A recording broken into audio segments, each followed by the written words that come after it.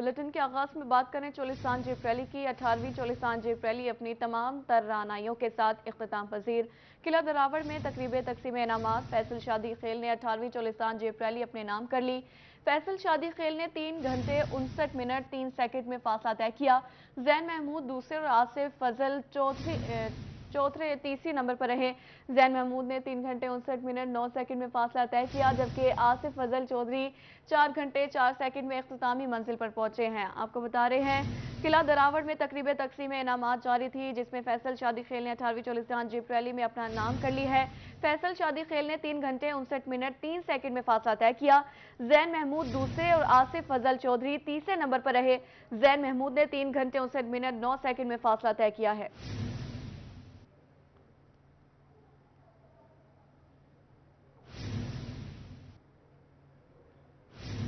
Cholistan jeep rally में B C D category के मुकाबले। डी कैटेगरी में शकील अहमद बरचंडी ने पहली पोजीशन हासिल की, उमर इकबाल कांजू ने दूसरी पोजीशन हासिल की, ज़फ़र बलोच और सराद बलोच ने तीसरी पोजीशन हासिल की है। सी कैटेगरी में जहीर हुसैन शाह ने पहली पोजीशन हासिल की, मोहम्मद हूत ने दूसरी और फलक शेर खान ने तीसरी पोजीशन हासिल की। बी कैटेगरी में जमाल कमाल और चौधरी खुरम ने पहली पोजीशन हासिल की। असद शादी खेल ने दूसरी, जबकि शहरियार शादी खेल हशाम खाकवानी ने तीसरी पोजीशन हासिल की है।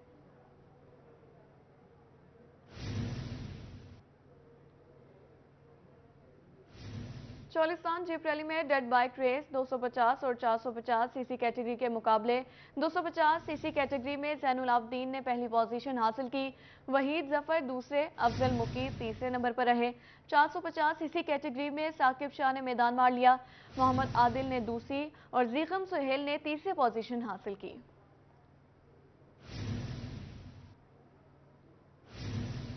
अठारहवीं चोलिस्तान जीप रैली तमाम तर रानाइयों के साथ अख्ताम पजीर।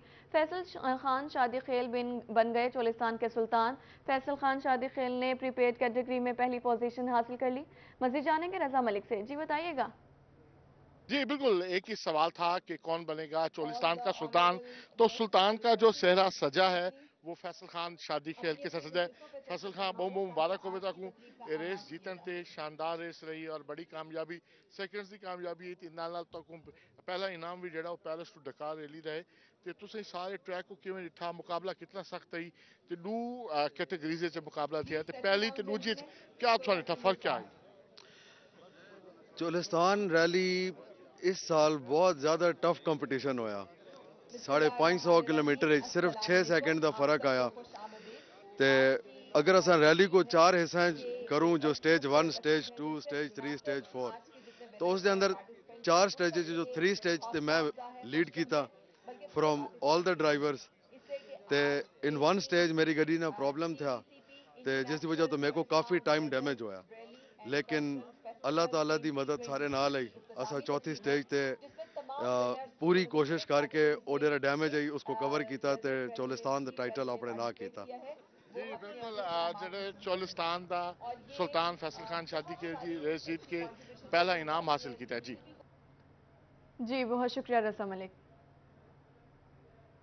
अठारहवीं चोलिस्तान जिप रैली अपनी तमाम तर रानाइयों के साथ अख्ताम पजीर मारूफ रेसर और सबक वज़ीर अला बलोचिस्तान जमाल कमाल की मीडिया से गुफ्तु कहा चोलिस्तान जिप रैली का ट्रैक मुश्किल ट्रैक है। चोलिस्तान एक ऐसी जगह है जहाँ ट्रैक को मजीद बढ़ाने का भी गुंजाइश मौजूद नहीं है।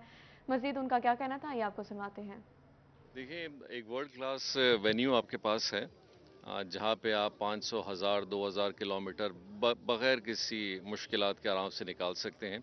और दुनिया में ऐसे जगहें बड़ी कम होती हैं जहाँ ऑलरेडी एग्जिस्टेंस पिछले पंद्रह साल से रैली हो रही हो। तो मैं तो हमेशा कहता हूँ कि इस वेन्यू को और इस इवेंट को और बेहतर करने के लिए गवर्नमेंट को और हिस्सा डालना चाहिए। क्योंकि बैन अवी सतह पर हम बहुत सारे लोगों को बुला सकते हैं और न सिर्फ़ वो, बल्कि पाकिस्तान सतह पे। आपने तो पिछले एक हफ़्ते में यहाँ देखा होगा कि इस इवेंट ने आज से नहीं, कई अरसों से बहुत सारे लोगों को अट्रैक्ट करती है टूरिज़्म पे अट्रैक्ट करती है। जीप के हवाले से मोटर स्पोर्ट्स के हवाले से न्यूज़ है बहुत बड़ी। एक इकनॉमिक एक्टिविटी इस पूरे खत्े में क्रिएट होती है, पूरे पाकिस्तान से लोग आते हैं। तो ऐसा इवेंट बड़ा कम मिलता है कि जहाँ हर किस्म का एक आप समझ सकते हैं कि एक मुल्क में जो एक एक पॉजिटिविटी के हवाले से जो आप कोई चीज़ करना चाहते हैं, वो सारी यहाँ पे मौजूद हैं। और मेरे ख्याल में पंजाब गवर्नमेंट को कहूँगा उनकी डेफिनेटली उनका इंटरेस्ट हमेशा से रहा है चोलिस्तान में लेकिन इसको और एक लेवल पे ले जाना चाहिए। फेडरल गवर्नमेंट को खास कर लाना चाहिए क्योंकि हमने बलूचिस्तान में देखा आ, पिछले तकरीबन तीन चार सालों में हमने छोटे छोटे हमें ऐसे इवेंट्स मिले हमने उस पर बड़ी इन्वेस्टमेंट की। तो ये स्पोर्ट वो है कि जो अभी बहुत आ, एक और लेवल पे जा रहा है। यहाँ पे स्पॉन्सरशिप्स इनको करनी चाहिए नए नए ड्राइवर्स को सपोर्ट करना चाहिए ताकि अच्छ, जितना अच्छा आप इक्विपमेंट लाएँगे जितने अच्छे आप उनकी फैसिलिटेशन करेंगे उतना अच्छा आपका टैलेंट और मजीद और उभरेगा। महँगा डॉलर अपनी असर दिखाने लगा है। गाड़ियों की कीमतें आसमान पर पहुँच गईं। दरामदाद की बंदिश से कार डीलर्स के चूल्हे ठंडे पड़ गए। गाड़ियाँ महँगी होने से मुल्तान की मार्केटें वैरान हो गईं। वसीम शहजाद की रिपोर्ट देखिए। ये मनाजिर है मुल्तान की मार्केट्स के, जहाँ कारों की कीमतें बढ़ने से हु का आलम है। महँगे डॉलर और एलसी की बंदिश से कार डीलरों के मसाइल बढ़ गए। सदर motor car dealer association Chaudhry Tariq Karim का कहना था की पहले ही महँगाई के हाथों परेशान है। अब रही कसर महँगे डॉलर और एलसी की बंदिश ने पूरी कर दी है। बड़ी गाड़ी है जो वो भी दो के नज़दीक पौने दो डेढ़ पौने दो के नज़दीक जो तकरीबन डेढ़ करोड़ एक करोड़ की एक करोड़ दस की होती थी अब दो करोड़ की हो गई है। इन हालात में जो हम देखा जाए तो प्रोडक्शन भी कम है और कंपनियाँ भी गाड़ियों की कीमतें करने कम करने को तैयार नहीं। ऑटोमोबाइल इंडस्ट्री में जो मामला असल आ रहा है इसके अंदर बहुत सारी चीज़ें जो बाहर से आती हैं। स्पेशली बोनट के अंदर इंजन है, बाकी चीज़ें हैं, कुछ इलेक्ट्रॉनिक्स कार्ड्स हैं, ये सब इम्पोर्ट होते हैं। फ्लक्चुएशन अलहदा अपनी जगह मैटर कर रही है, मगर आपके पास रिज़र्व नहीं है। तीन माह के दौरान आल्टो वी एक्स आर की कीमत में तीन लाख सैंतीस हज़ार आल्टो वी एक्स तीन लाख पैंतीस हज़ार और वैगन आर की कीमत में पाँच लाख छह हज़ार रूपए इजाफा हुआ। शहरियों का कहना था कि कारों की बढ़ती कीमतों ने मुश्किलात में इजाफा किया है। अब वो गाड़ी खरीदने का सोच भी नहीं सकते। मैं तकरीबन महीने से घूम रहा हूँ और गाड़ी पहले मुझे रेट मिला तो बीस लाख रुपए का मिला। तो तकरीबन दस पंद्रह दिन गुजरते ही रेट बाईस पे, तेईस पे, चौबीस पे, आज रेट उसका पच्चीस लाख मिला है। जो एक मीडियोकर तबका से जो लोग बिलोंग करते हैं, वो इस गाड़ी को अफोर्ड कर सकते थे। लेकिन अब वो जो हालात हो गए हैं कि वो चौबीस लाख, पच्चीस लाख की आल्टो हो गई है, उसको अफोर्ड नहीं कर सकते। दूसरी बात यह है कि गाड़ी के रेट बढ़ने से एक तो रेट में इफ़ेक्ट आया, दूसरा गाड़ी की अवेलेबिलिटी भी नहीं है इस टाइम मोटर कार डीलर्स का कहना था कि हुकूमत बंद एलसी जल्द खोले, ताकि इंपोर्ट के बायस गाड़ियों की किल्लत और रेट्स कम हो सके। कैमरामैन नईम कुरेशी के साथ वसीम शहजाद, रोही मुल्तान। मुल्तान इंतजामिया की नाहली बागलांगे खान के पास बनाया गया फिल्ट्रेशन प्लांट बंद। इलाका मकीन पानी की बूंद बूंद को तरस गए। फिल्ट्रेशन प्लांट पर नशे के आदि अफराद ने डेरे जमा लिए। तफसीत अलिशबासिफ की इस रिपोर्ट में। बाग लांगे खान के पास बनाया गया फिल्ट्रेशन प्लांट शहरियों के लिए जहमत बन गया। फिल्ट्रेशन प्लांट बंद होने से इलाका मकीन परेशान। फिल्ट्रेशन प्लांट पे नशियों ने अपना डेरा जमा लिया। खुलेआम नशे के आदि अफराद नशा करने में मसरूफ हैं। प्लांट बना हुआ था अच्छे पानी का। तो ये बंद बंद बढ़ाएगा। पूरे इलाका तंग है, ना पानी मिलता है, कुछ भी नहीं होता। और यहाँ नशैयों का सारा डेरा बना हुआ, गंदगी है हर पास। है इलाका मकीनों का कहना है कि साफ़ पानी भरने के लिए दूर जाना पड़ता है। इंतजामिया ने फिल्ट्रेशन प्लांट बनाकर छोड़ दिया। फाल नहीं किया। इनका मजीद कहना था कि पानी तो यहाँ आता नहीं नशा करने वाले अफराद की वजह से माहौल भी खराब हो रहा है। जो यहाँ पर फ़िल्टर है यहाँ पर ना नशी आगे बैठ के यहाँ पर हम पानी भरने आते थे और यहाँ पर ना हम क्रिकेट खेलते हैं। हम ना वहाँ से वहाँ से भरते हैं पानी। अब ये नशियों का क्या करें अब हम? दूर जाना पड़ता है पानी ये पानी के मसले में ना ये चर्ची आगे बैठ गए ना सही तो हमें ना पानी नहीं आता। ये पानी का कोई हल करो क्योंकि हम इसलिए बाहर जाते हैं कहीं और। क्रिकेट खेलने वाले बच्चों का भी कहना है कि अगर पानी नहीं आता तो नशा करने वाले अफराद को तो इधर से निकालें। इन्होंने इसे अपना डेरा बना लिया है। कैमरामैन फहीम आबिद के साथ अलिशबा आसिफ मुल्तान। मुल्तान इंतजामिया ने बच्चों के चेहरों से खुशियाँ छीन ली। पीएचए इंतजामिया पार्कों में तफरी सहूलियात फराहम करने में नाकाम। मजीद देखिए अली रियाज की इस रिपोर्ट में। शहर ओलिया की दूसरी बड़ी तफरी गाह का कोई पुरसाने हाल नहीं। पी एच ए मुल्तान की अदम तवज्जे। पार्कों में तफरी सहूलियात की फ्राहमी के दावे हवा हो गए। जिना पार्क में सफ़ाई सुथराई का नाकिस निज़ाम, झूलों का नामो निशान तक मौजूद नहीं। तफरी के लिए आने वाले बच्चे मायूस वापस लौटने पर मजबूर हैं। हमारे तो यहाँ पर आते थे झूले खाते थे। और यहाँ पर बैठते थे। अब हम कुछ देर बाद आए हैं तो यहाँ पर कोई झूले नहीं है और जगह जगह गंदगी के ढेर है जिसकी वजह से यहाँ पे आने का दिल नहीं करता। गुजारिश है कि यहाँ से दोबारा झूले लगा दिए जाए। बच्चों का कहना था कि पार्क में कोई तफरी सहूलत नहीं जगह जगह गंदगी के ढेर लगे हैं। इंतजामिया पार्क में सफ़ाई सुथराई और झूले फाल कराए। घूमने के लिए आए थे और हमने समझा यहाँ पर झूले होंगे लेकिन यहाँ पर झूले नहीं यहाँ का मंजर बहुत खराब है। और यहाँ पर गंदगी के ढेर हैं पड़े। बच्चों ने अरबाब इख्तियार से पार्क में झूलों समेत दीगर तफरी सहूलियात फराहम करने का मुतालबा किया है। कैमरामैन फहीम आबिद के साथ अली रियाज मुल्तान। रहीमिया खान में सियासी सरगर्मियाँ शुरू। मखदूम ताहिर रशीदुद्दीन ने एन ए एक सौ सतहत्तर से कागजाती नामजदगी जमा करवा दिए।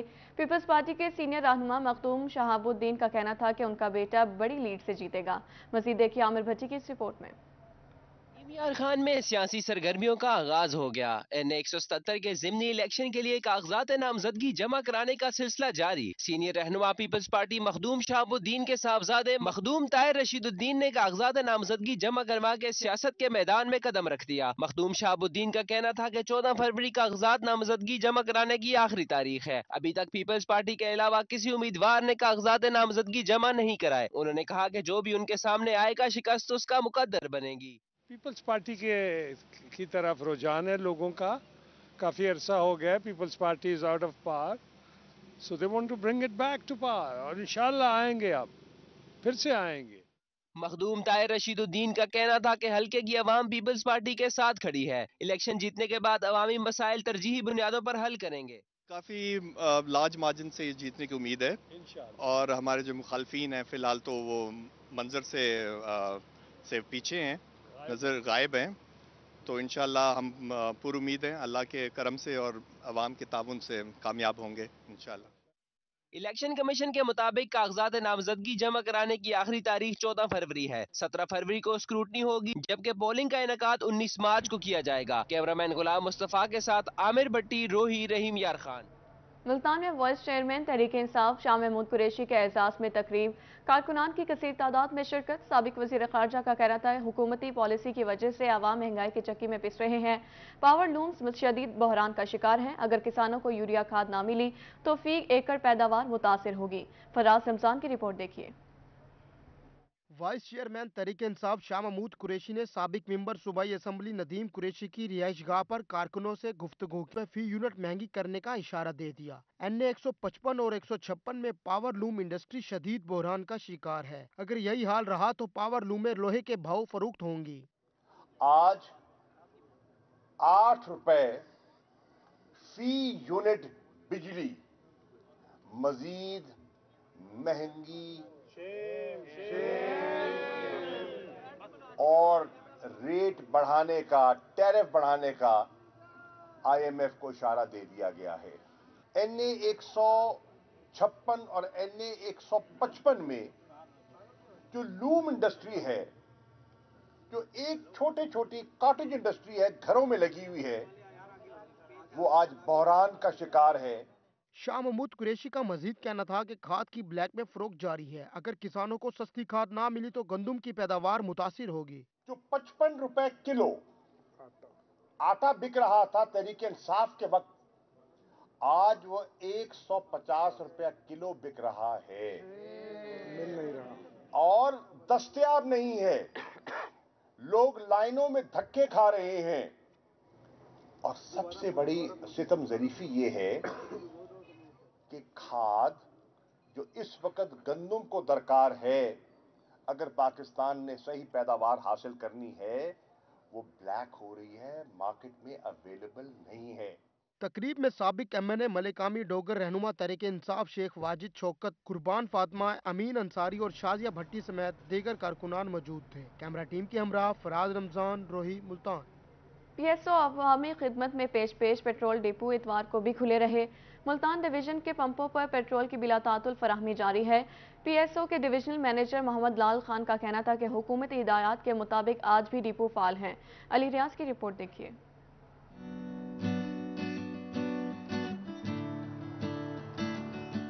पीएसओ का अहसन इकदाम। मुल्तान डिवीज़न में इतवार के रोज भी पंपों पर पेट्रोल फराहम किया गया। डिपो खुले रखने का मकसद शहरियों को पेट्रोल की बिला फराहमी हर सूरत यकीनी बनाना है। पीएसओ के डिवीजनल मैनेजर मोहम्मद लाल खान का कहना था कि हकूमती हिदायत के मुताबिक आज भी डिपो फाल हैं। गवर्नमेंट ऑफ़ पाकिस्तान की तरफ़ से इंस्ट्रक्शन थी कि हमने बिला सप्लाई देनी है। और उसके लिए आज, एज़ पर गवर्नमेंट इंस्ट्रक्शन हमने संडेज को अपने डेपोज ऑपरेट किए हैं। कि कोई भी अनएक्सपेक्टेड सिचुएशन को मैनेज करने के लिए सप्लाईज की। डिवीजनल मैनेजर का मजीद कहना था कि पीएसओ हर सूरत आवाम को पेट्रोल मुहैया करने के लिए कोशा है। ये टैंकर यही इसी कंटीजेंसी प्लान के अगर हमें यहाँ पे अनएक्सपेक्टेड फ्लो मिले तो हम स्टॉक को मैनेज करें और अपने कस्टमर्स को मुसलसल प्रोडक्ट प्रोवाइड करते रहें। डिवीजनल मैनेजर मोहम्मद लाल खान ने कलमा चौक के पीएसओ पंप पर तमाम सहूलियात का जायजा भी लिया। कैमरामैन मोहम्मद रिजवान के साथ Ali Riaz Multan. Dera Ghazi Khan centre of excellence में दाखिला टेस्ट का इनका। छठी और नवी जमात के लिए सैकड़ों तलबा तलबात ने हिस्सा लिया। आठ हज़ार से ज़्यादा बच्चों ने रजिस्ट्रेशन करवाई। आशिर की रिपोर्ट देखिए।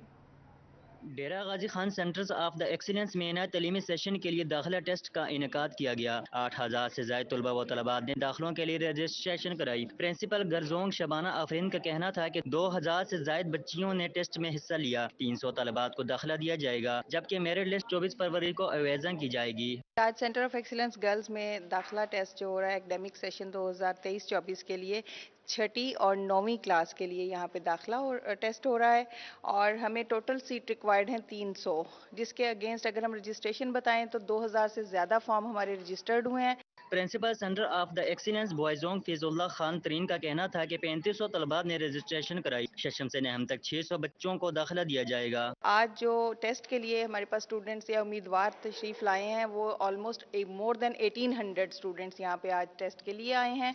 और हमने जो है वो इंतज़ाम बहुत अच्छे किए हैं और हमारी इस टेस्ट का मकसद ये होता है कि हमारे पास बहुत अच्छा बच्चा जो यहाँ पे पढ़ना चाहता है और अच्छे मार्क्स लेके आता है और उनके वालदेन की ख्वाहिश होती है, वो ये टेस्ट क्लियर करें और दाखिला ले सकें।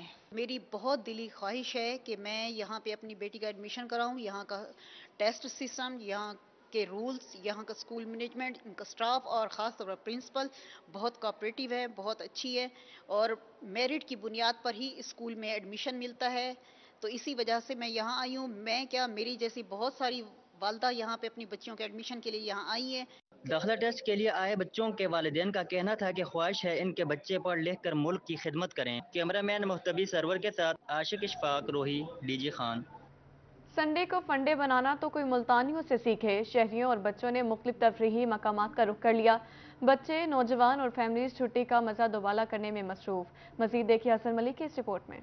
छुट्टी का दिन मुल्तानी घर बैठकर गुजारें, ऐसा तो मुमकिन ही नहीं। संडे को फंडे बनाने के लिए शहरी पार्क्स और दीगर तफरी मकाम पहुँच गए। क्या बच्चे, क्या बड़े सभी इंजॉय करते नज़र आए। इस मौके पर शहरियों का कहना था कि इतवार की छुट्टी किसी नेमत से कम नहीं। अभी हमें आए हुए एक घंटा हो गया एक घंटे से यहीं पे फिर रहे हैं इंजॉय कर रहे हैं।